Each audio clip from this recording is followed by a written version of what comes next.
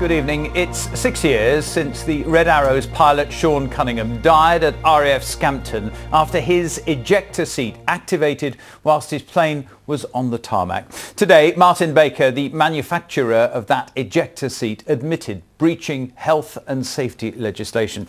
Our reporter Gemma Dawson is at RAF Scampton now, where the Red Arrows are based. Just remind us what happened to Sean Cunningham. Well, Peter, it was back in November 2011, not far from where I'm standing inside RAF Scampton, that Sean was doing his routine pre-flight checks. And it was during those checks that his ejection seat went off while his Red Arrows jet was still on the ground. Now this morning at Lincoln Crown Court, the ejection seat manufacturer, Martin Baker Aircraft Company Limited, pleaded guilty to a single breach of health and safety law following the death of the Red Arrows pilot. Since childhood, Flight Lieutenant Sean Cunningham had dreamed of flying fast jets for the RAF. And in 2010, 10 years after starting his military career, he was selected to join the Red Arrows. But the following year, he died after being ejected from his Hawk jet. The ejection seat went off during routine checks on the ground at RAF Scampton. His parachute attached to his seat should have saved his life, but it failed to deploy. Four years ago, an inquest heard this crucial nut and bolt had been over-tightened on his ejection seat, stopping the parachute from working properly. The manufacturers of that seat, Martin Baker, knew about the issue and told other foreign air forces, but not the RAF. We welcome the conclusion of the coroner, which confirmed what we, what we knew all along, which is that Sean was blameless and his tragic death, excuse me,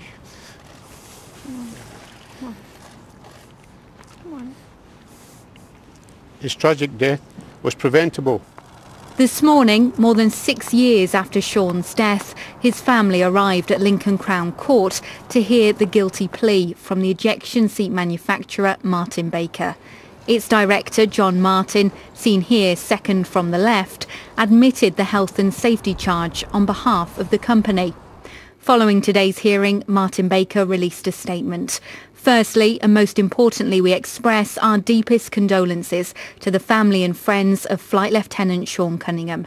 It went on to say Martin Baker's priority has and will always be the safety of the aircrew who sit on the company's seats.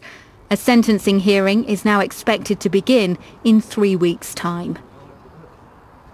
Well, Martin Baker has designed and manufactured aircraft ejection seats for more than 70 years. The company says that during that time, the ejection seats have been flown by 92 air forces. And there are still more than 17,000 of their ejection seats in use. Today, the Ministry of Defence has told us that the RAF is still working with Martin Baker and many of the RAF's aircraft are still fitted with Martin Baker ejection seats. Gemma Dawson, thank you very much indeed. Well, Sir Michael Graydon is a former Air Chief Marshal who commanded RAF aircraft during the Gulf War. I asked him how surprised he was that Martin Baker pleaded guilty to a health and safety offence. Well, I'm surprised in that I hadn't realised that it happened in, until earlier the, this afternoon, but in many ways I'm, I'm pleased about it. I think it would have been agonising to have dragged it out uh, even further. As a former fast-jet pilot, how does it feel to hear the coroner describe part of the ejection seat that threw this pilot to his death as entirely useless?